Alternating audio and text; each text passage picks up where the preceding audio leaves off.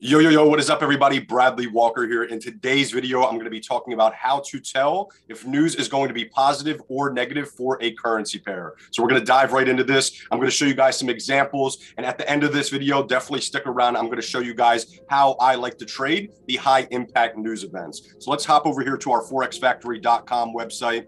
This is one of the websites that we use for news events. There's a few others, but Forex Factory, when you're trading in the foreign exchange markets, is probably one of the best in my opinion. So as soon as you go to forexfactory.com, you know, we've talked about Forex Factory in a lot of our other videos with our news forecasts and things and understanding why trading with the fundamentals, with the news is super, super important. But this is the home screen of forexfactory.com. You can see you have all of the news events. And we're looking at October 1st. You can see right here the date that we are looking at October 1st, which is Friday of last week, because there's a lot better examples for what I'm going to be talking about in today's video than there was for today, which is actually the 4th of October. So this is all going to be in Eastern Standard Time. This is the time the news events are dropping, the currency that they are affecting, and then you can see right here the impact. Now, if you're not in Eastern Standard Time, because these news events are released in Eastern Standard Time, if you click on the time right here, it will allow you to change the time zone. But these are the main things that you want to focus on the time that the news is dropping, the currency that it's going to be affecting, and then the impact that it's going to be having on that currency pair. So,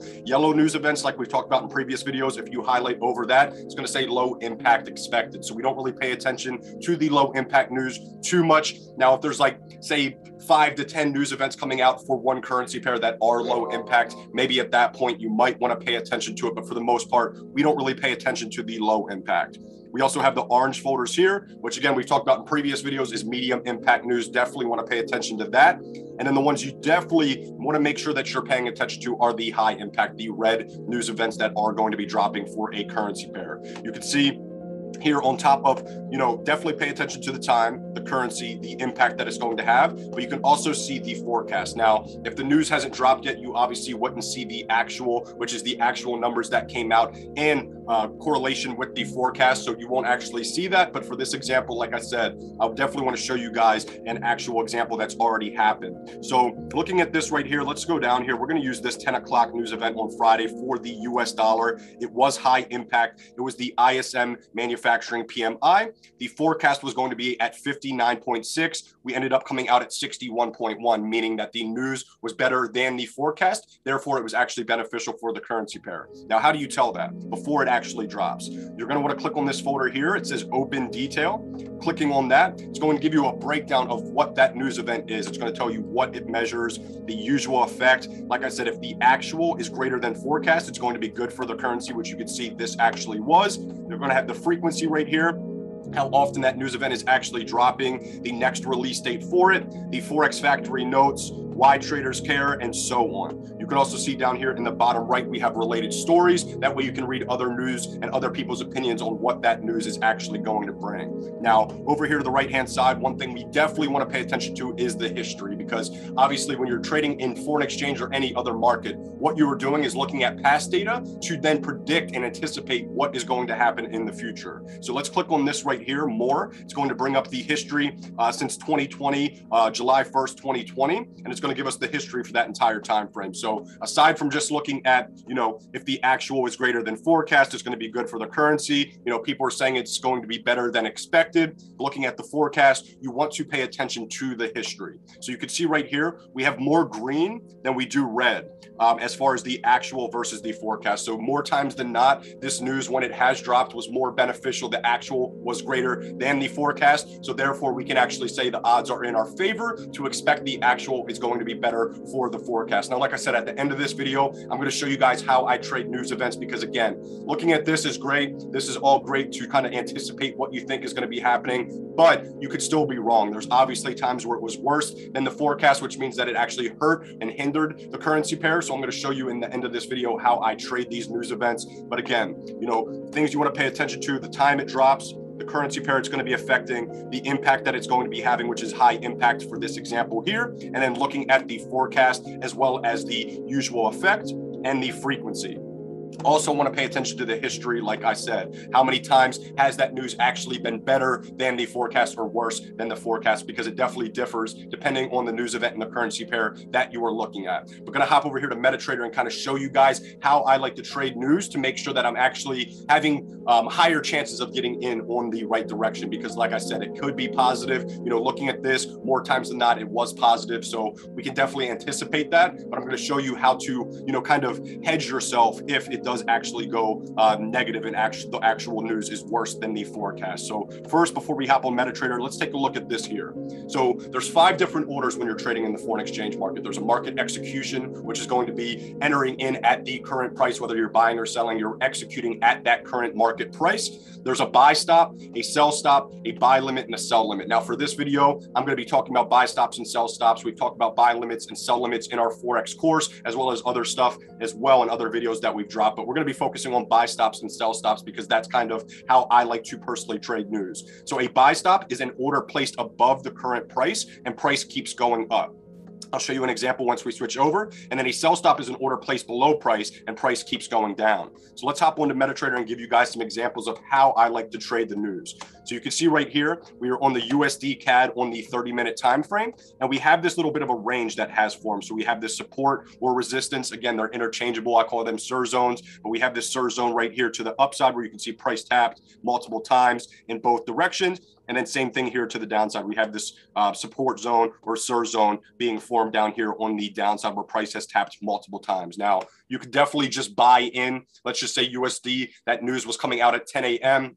It's 955. You're anticipating it's going to be bullish, positive news for the US dollar. The actual is going to be better than the forecast. You could just hop into a buy.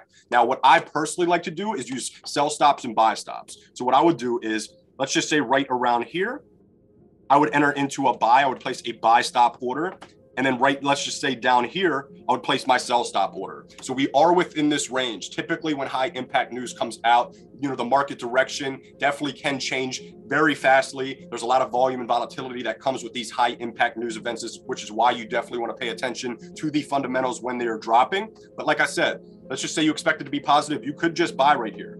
But if the news is actually worse than the forecast, it's going to come down. So you're going to end up hitting your stop loss and, you know, possibly taking a loss on the trade. So what I like to do is use these stop orders. So we're in this range right here. What I'm looking for, let's just say no news was dropping. I'd be looking for a breakout in either direction, along with, you know, other things, EMA stacks, um, looking at the RSI, looking at the uh, Fibonacci retracement levels, looking at a bunch of different things. But for this example, let's just say we'd be looking for a breakout if there was no, no news dropping uh, for this currency pair.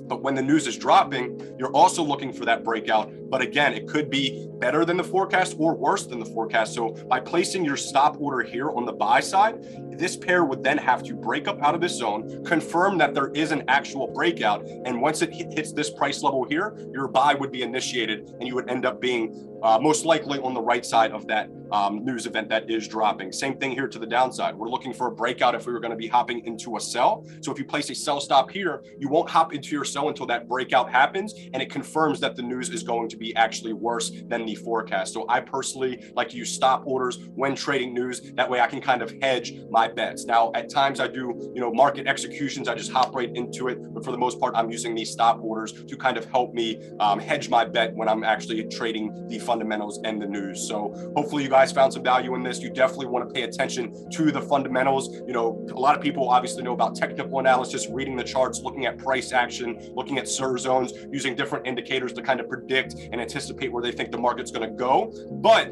if a high impact news event is coming out and that's all you are focused on, that news event can easily smack you very, very quick, especially when high impact stuff like non farm payroll, GDP, stuff like that is dropping. You could be looking at price action and fundamentals or in technical analysis and say, okay, everything is looking like it's going to go bullish. Everything's going to look like it's going bearish. But if the news drops, let's just say on this example right now personally i think this is actually going to be coming down this this currency pair here i'd be waiting for a breakout to possibly hop in but overall just taking a quick look at this it looks like it's going to continue to the downside. Maybe not immediately but over the next few days i'm definitely looking like it's going to be going to the downside. But you have to then add in fundamental analysis okay? Because just because this looks like it's coming down if that news drops and it's positive for the us dollar this could easily flip, break out of this zone, and then go to the upside. So you have to pay attention to the news. It increases volume and volatility in the markets. And if you're not paying attention to it, you're going to be trading very, very blindly. And you definitely don't want to get blindsided by a high impact news event. I've definitely been there in the past. Trading was killing it. This was, you know, I've been trading for about eight years now. This was in the past. You know, I was killing it, doing super good. All of a sudden, NFP dropped and I got wrecked. And I'm like, yo, what just happened? So I start doing some research and I realize this thing called non farm payroll drops on the first Friday of every single month. And it's super high impact, a lot of volume, a lot of volatility comes from this news event. All my technicals, all my price action, everything was stacked in the right direction. It was looking good, but the news ended up coming out worse than expected and ended up smacking the US dollar. And I got smacked on a trade. So you definitely want to make sure you're pairing all of this together. That way you're not trading the markets blind. That way you have as much tools and resources and as much information at your disposal as possible to help you have a higher chance of getting into a successful trade. But hopefully you guys found some value from this video. Definitely make sure you like, comment, subscribe, hit that notification bell to stay up to date on all of our videos. Share this video out with anybody that you think can found, find value in it, that is trading in the Forex markets or any other market. Like I said, I focused on Forex in today's video, forexfactory.com, but this applies to all, you know, all markets, whether it's stocks, options, whatever it may be. You want to pay attention to the news that is going to be dropping when you are trading in any financial market. Make sure you also check out the links in the description of this video. Sign up to our free Forex course. Normally we sell this for 197. We're giving it to you today for free. So sign up to that. Learn how to start trading in the foreign exchange markets. Learn the basics, you know, basic terminology, how to set up a brokerage. Learn how to start trading in the Forex markets. Sign up to our Discord community. We're giving you a seven-day free trial to start trading with us, copying our trades, getting access to our news bot, live Q&As, one-on-one sessions, and so much more. Sign up to our recommended brokerages. Sign up to Robinhood and Webull to get a free stock on us. Follow us on all major social media platforms at Copy My Profits. And as always, thanks for watching. Peace.